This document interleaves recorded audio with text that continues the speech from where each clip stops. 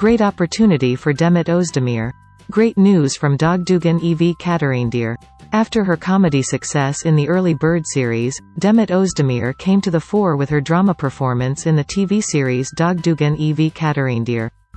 Demet Özdemir, who is a partner with İbrahim Çelikkol and Engin Öztürk, gave a very successful performance.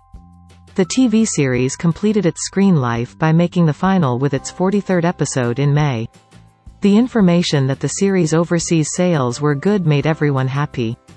Demet Özdemir's fans around the world showed great interest, and requests came from different countries. Now, at a completely different point, we see that the series comes to the fore. This series was caught on the radar of the HBO channel, which broadcasts in the United States of America. Especially in the Latin American market, such content platforms are taking important steps through Turkish series. It went to a new arrangement through Dubai by appointing a manager only for Turkish series in HBO. The emerging developments show that the HBO brand is turning to Turkish content. It was announced that the person named Mia Ed, who was interested in Turkish series on MBC channel, will now work for HBO. The first project that HBO bought was Demet Özdemir's leading role in the series, Doğduğun Ev Kaderindir.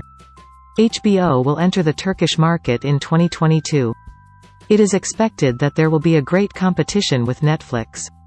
Meeting with producers from Turkey, HBO's participation in the TV series market as a new platform draws attention as an important development.